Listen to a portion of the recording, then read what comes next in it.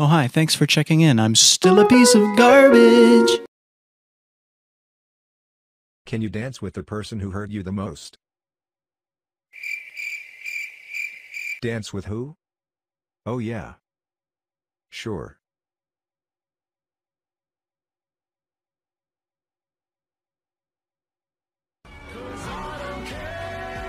Care to dance? School?